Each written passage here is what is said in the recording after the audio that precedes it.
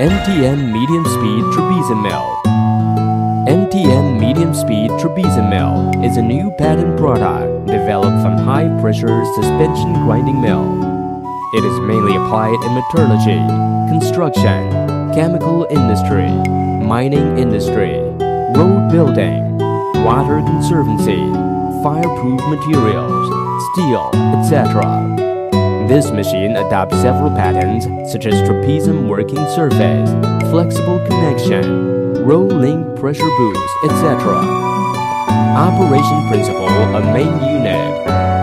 Main unit runs with a central shaft that is driven by a gearbox. The top of the shaft is connected with a quick quincunx stand, on which a grinding roller is installed to form a swing support.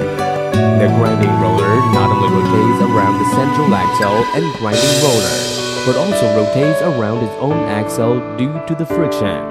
There is pallet knife system at bottom of quincunx stand. The pallet knife system is under the grinding roller.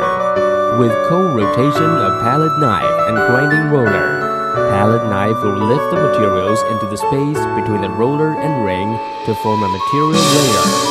The materials will be grinded due to the centrifugal force of roller.